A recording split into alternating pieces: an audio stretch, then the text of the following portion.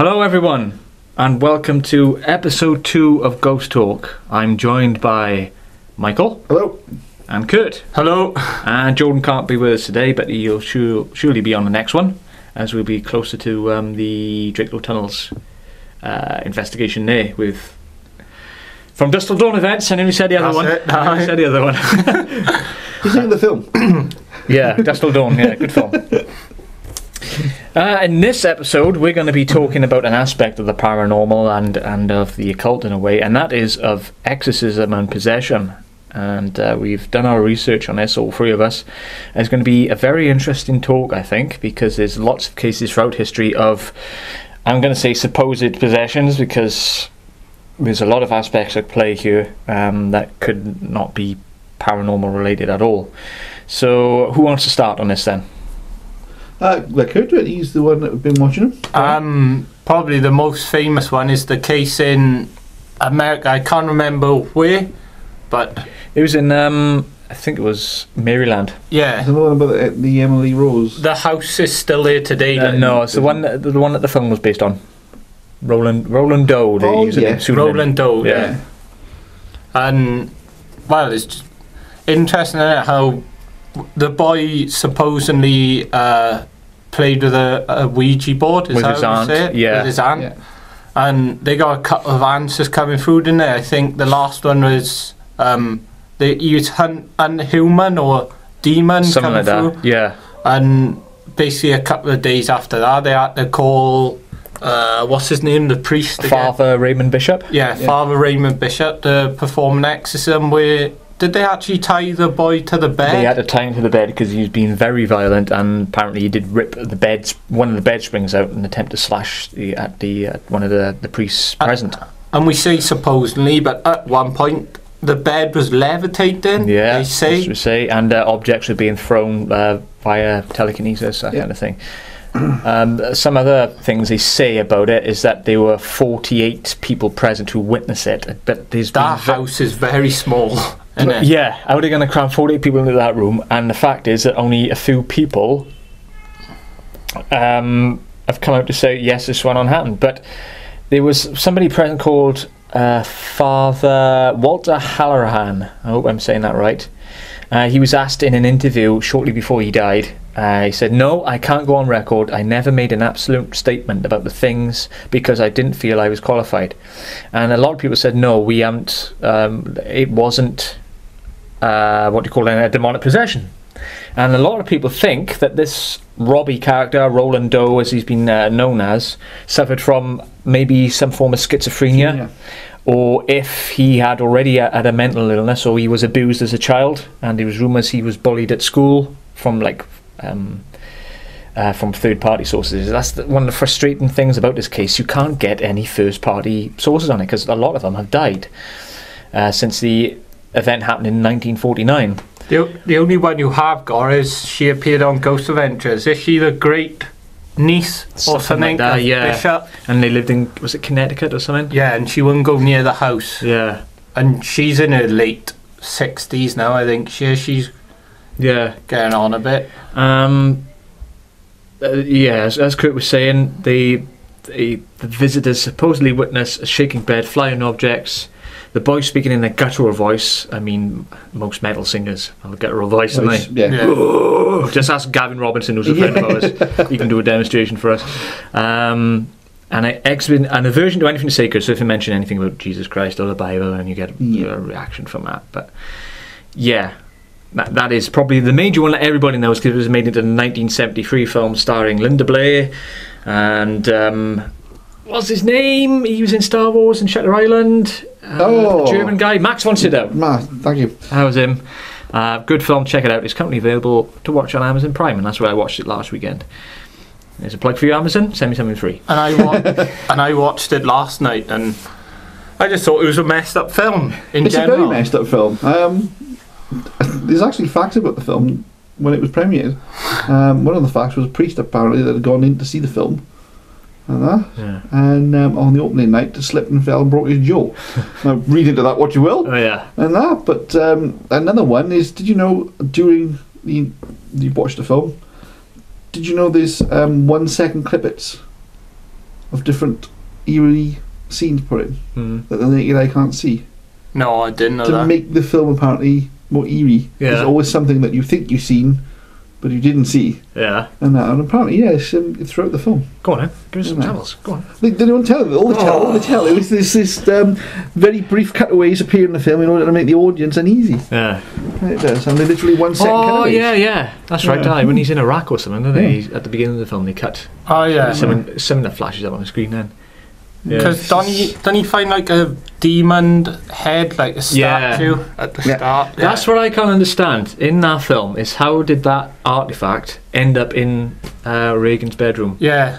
How did that get in there? And the crucifix.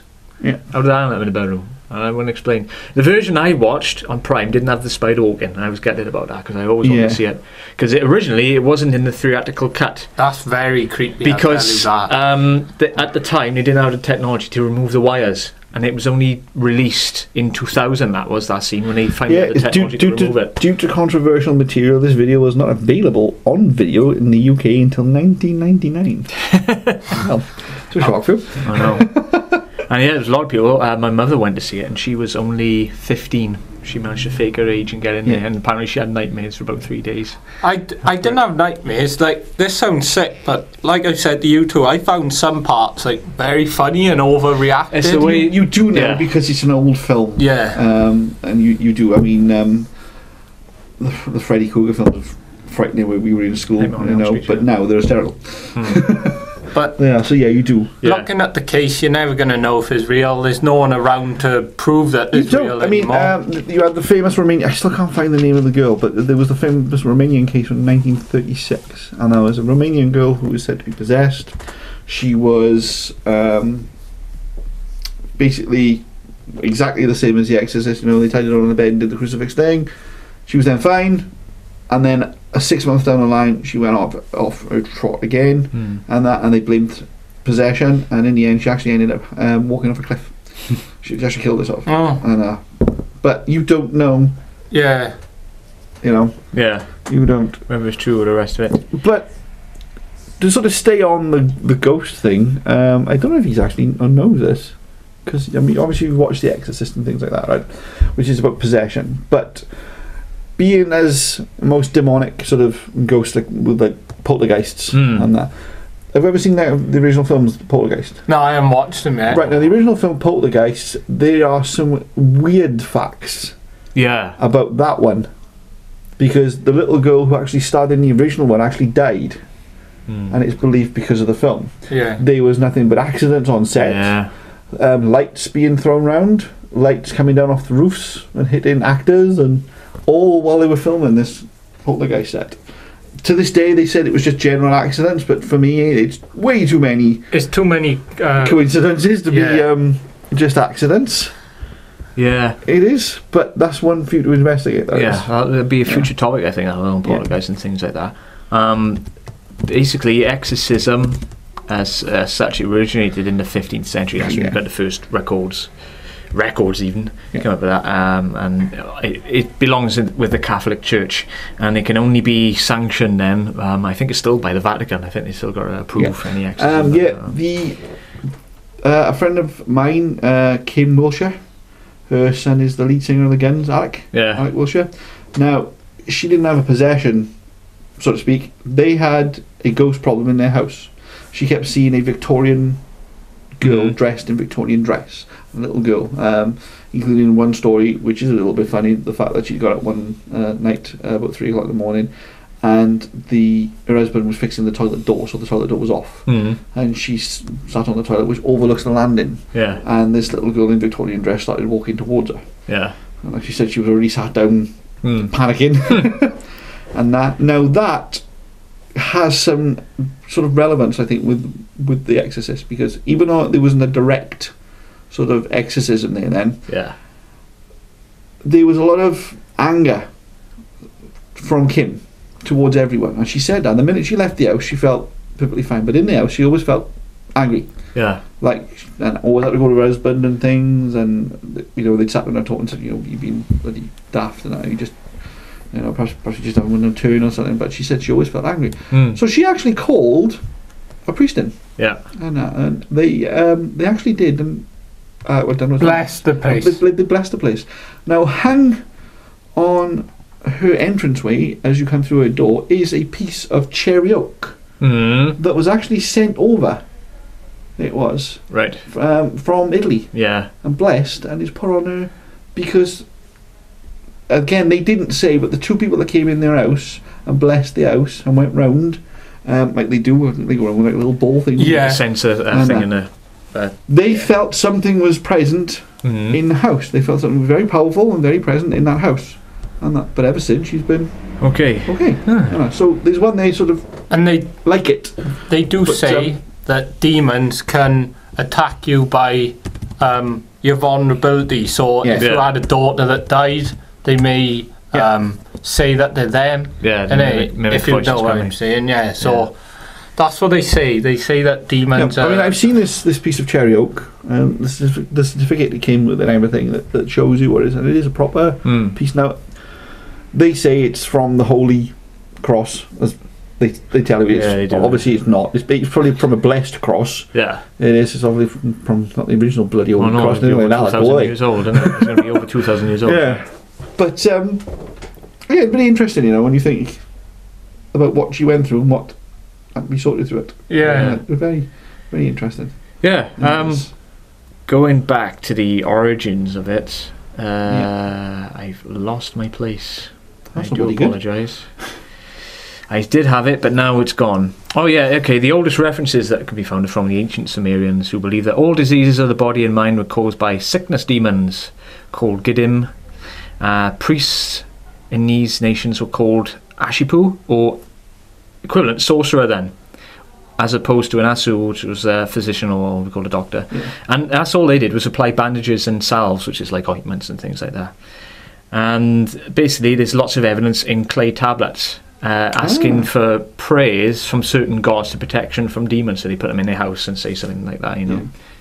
Um, yeah, there's lots lots of theory about it. Um, and shamanic cultures as well, shamans, shamanism. Uh, diseases are often attributed to a vengeful spirit uh, in the body of a person. Uh, they're often to be animals, people wronged by the bearer, so say you've annoyed somebody and they Yeah. come back to haunt you and possess you, etc. And they dealt with it by doing sacrificial offerings. Now, when people think of sacrificial offerings, they tend to think of like humans and animals and all that, but it could be anything from plants or crosses or anything Yep. to try to drive away the devil or Satan or any lesser demons or fallen angels, depending on your point. But uh, yeah, it's referenced in the Bible, etc. Um, my thoughts on exorcism uh, is as a open-minded skeptic. Open, yeah, open minded and open minded skeptic. It's, it's a lot. I think a lot of it could be due to mental illness A lot of it, and delusional. to think a lot of it is due to delusional illness. Yeah. Um, being, Delusional mind. Um, what did you call it earlier? Uh, where you got different personalities. Split personality Split disorder. disorder. Um, Yeah. So you, you don't know. And uh, um, I personally never ever want to find out. Yeah, I don't. it could it could be something just simple as like a chemical imbalance in the brain. It could be a chemical imbalance in the brain. It Say could like you've fallen over, breakdown. knocked your head. Yeah, It could be a breakdown. Stress. You know. And that you you don't know. uh, schizophrenia uh, as well. Yeah. It could be, uh, things like that. Another age-long question, on it? It like is. ghosts. Yeah, But my biggest thing with it is again the people that mess with Ouija boards. yeah, And there are things that have happened on camera when they've been messing with Ouija boards. Not so much possession, but things that have gone on in a room or Mm. things have moved. And I just think it is one of those things that you should stay away from, you know. It, do, it does make you think, oh, are these um, Satanists doing all of their rituals? And now what, yeah. what is coming out of what they're doing, isn't it? Mm. It could be anything. It could not be nothing. But that's the thing. Yes, we never know. Really, we'll never know. Um, it's like uh, there's a lesser form of possession and channeling. What some uh, mediums, in inverted commas, Yeah. uh, will apparently channel the spirit of something or other to come come on through, and they allow them to take over their body for a brief period. I mean, that's a form of possession. But Mm. again, is it Are they? just are they just You know. playing on it to make Yeah. a quick buck, or play on the emotions then of a family or something like that, or Yeah. lost somebody and well, that's what they say with demons to do, innit? it they play on your emotions. Yeah. If it's true. If it's true. If it's true, that's the thing. I mean, there've also been a lot of fraudulent people found out today. Yeah. One of the biggest one was the American guy that said the main the medium that said he could talk to. Yeah. We was on But it was that last just week. the way he asks questions to make you think Mm. that they're coming through. Yeah, Derren Brown did a whole program on it, didn't he? He did, yeah, and he was quite good. And he 'cause ripped it apart. He, ripped it apart. He literally asked like four questions and then convinced a woman that her dead husband was talking to him. Yeah. He didn't bloody never met him. But it's again, Yeah. it's it's, it's manipulation, you know. Mm. So Yeah, it's one of those areas which you never know for sure. what about the? Um, I mean, You know, if, if it's fact or fiction. the Ealing. Oh, the Enfield haunting. The Enfield Yeah, that, that's like a poltergeist thing, wasn't it? Yeah, Um, that was uh, Yeah, the rumours now that the girl made all that up. never. Yeah, I mean, all the pictures that you see is, is a well famous picture of her jumping off her bed. Yeah, And that's, that's all it looks like. It just looks like a girl has jumped off her bed. Yeah, Um, there was a program again, about again Sky there was the there was an original Uh, one they were doing with people were there, Yeah, and they did an original interview with her, and she was supposed to be channeling this guy yeah, with a really deep voice. But again, anybody can, you know, do the, the metal voice if you want to call yeah. it. And uh, So, you know, mm, again, you don't know. Is it? Was it? I mean, I know the Conjuring Two is based on the. yeah, that's about haunted dolls and things. Yeah, it? Well, the first one was. It is. So again, this you've got that possession. See, Yeah, of inanimate objects. yeah, Yeah, there, there has yeah. there has been two dolls. I think there's one in the museum in the states. Mm. And then you've got the one That that is literally locked behind glass, no one can go near it. And And it- apparently, you know, they take photographs of it because bad things will happen to you. and then some guy owns the other one and is uh Yeah. What's that baby in there? Is that the baby yeah, one? apparently like his arm is breaking, so you got to be really Yeah. careful with it Yeah. and new and it's really Yeah. old. Yeah, there was also the the eBay one. It was, uh, but that again was a woman that apparently bought. Um, oh, what are they called? The bloody dolls when they want to Voodoo dolls. voodoo dolls. She Yeah. bought a voodoo doll. Yeah. She actually bought a voodoo doll from Africa, which Mhm. really stupid idea, considering they they study it and uh, worship it that way with, some cultures that Mm. do, and uh, and uh, that's actually an interesting story because she bought it for a, a giggle. Um, she had a couple of pieces of bad luck, and one of the most famous stories is her actually videoing the second time she sent the doll away. Mm. And the first time she sent the doll away, uh, the package got there, but no doll. Yeah. The doll wasn't in the package, and she'd gone out one day and the doll was on the bonnet of her car. Mm. So weird. But she'd actually videotaped herself putting the doll the second time in the box, Yeah. taping it, Yeah. taking it to the post office, and posting it away. And again, the doll appeared back in her house. Hmm. So you kind of think, hmm, okay. But is there again trickery involved? You yeah. don't know. somebody- yeah. And uh, I mean, personally, if there was a doll doing that, it'd be in national news. Exactly. Yeah. you know, Kind of like uh, Island of the Dolls as well. They say a lot of them are possessed, don't they? On the, island, island. the island of the dolls. Um, It's one creepy island. it's a creepy island, but it's actually there was actually it's actually a chap that lived on the island. Yeah, he died, didn't and he? put the dolls up to. Um, Something to do with a drum girl and it was something to do with a drowned girl. It was dolls for her to play with. Yeah. He couldn't save her, could he? That's it. And And that's all it is. He, he, all the dolls that was donated and that to the island, Mm. he, he just but up. it was weird because they found him in the exact same spot that she drowned in, and he was facing head down, wasn't he? yeah. And they say that there's some, I don't know, some ancient fish or something killed him and then took his soul. Oh, There's loads. it's something far fetched. folklore, Yeah. And it's like that episode of Ghost Adventures, the one that that we just seen um, in the Zak's Haunted Museum before we moved in, and that that doll, wasn't it? They left it in the basement. I still got trying to figure out how they did. It's still Well, creepy, that is. That is creepy because Yeah. it, it it made noises upstairs, didn't it? Yeah. And they put it downstairs, and then one technician guy, Jay, went downstairs, and the doll says in a f- female voice when it was speaking in a male voice previously, Yeah. said, "Hello, sweetie." really, that was creepy. yeah, come through on the um, spirit box. Um, that's probably the best episode of the season for me. Yeah, but again, is it to publicise this museum? Yeah. You That's don't know, what I see. want to know. Yeah. I mean, Zak, you're crazy I would like to think they're having all them pretty. things in your um, yeah. in your museum. All I would like to think they're pretty legit, but we'll never know what goes beyond You- behind the you- scenes. Again, again, you're going back to like it, the schizophrenia with the Exorcist Hmm. and that. The one thing you've got to realise as well, um, a lot of the places they sort of take place, you do have a lot of military testing Hmm. going on, so you've got to like account for that as well. Yeah. And uh, because a lot of the stuff has sort of happened out in um, where Area 51 is, where people said they've seen UFOs Yeah. and that and been abducted by aliens.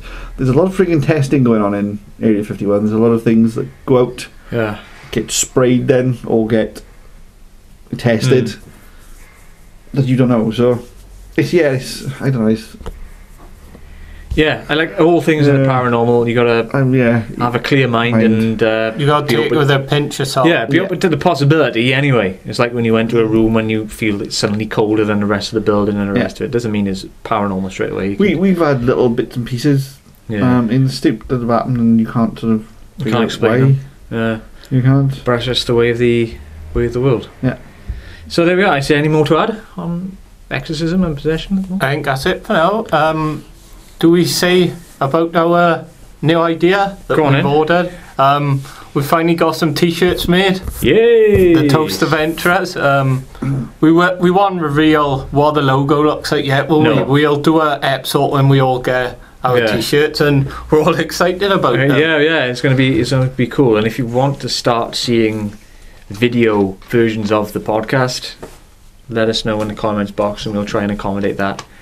Um, it just means it'll be up a little bit later by the time you take it to edit it. That's all. Yeah. And we're a bit skeptical of doing it by video, so maybe Yeah, 10 yeah. likes and maybe I don't know, it's- it's- 100 views. We, we've done video stuff with creative talk and Yeah, it doesn't got never awesome. worked. So never worked. unless we're in a full blown recording studio, Yeah, and you know. yeah, Yeah. you know, So if you want to see it, that yeah, I think that's the minimum criteria. Now. Ten likes 10 and 100 views, it 100 ain't views. asking much, is it, No. really? no, and then we'll, we'll we'll consider it anyway. yeah. Yeah. So until next time, guys, we'll see you again soon. Thanks. Stay safe. Bye. Bye.